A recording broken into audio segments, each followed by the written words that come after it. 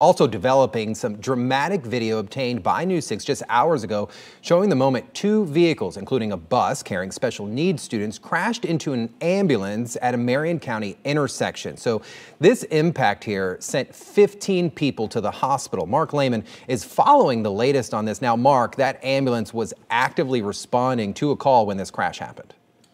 Yes, emergency lights and sirens were on as the ambulance was hit. Uh, we saw the result right there in the video, the impact overturning the ambulance on its side and leaving a lot of people hurt. Now, as for where this happened, it's a pretty busy area near a lot of neighborhoods at the intersection of Southwest 80th Avenue and Southwest 90th Street, not far from State Road 200, and also right next to Marion County Fire Rescue Station 21. Now, here's a closer look at that dash camera video from a News 6 viewer. It shows both a small bus and a pickup truck slamming into the ambulance as it was responding to a call just before 9 yesterday morning.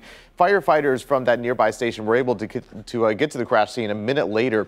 15 people in total were taken to the hospital. 11 were special needs students on that bus, along with the bus driver, the driver of the pickup, and two Marion County firefighters. Most had minor injuries. Now, this morning, the Florida Highway Patrol is likely looking into that video as part of the investigation. Marion County Fire Rescue, meanwhile, is urging drivers to yield to emergency vehicles as their lights and sirens are on. Steve? Thanks, Mark.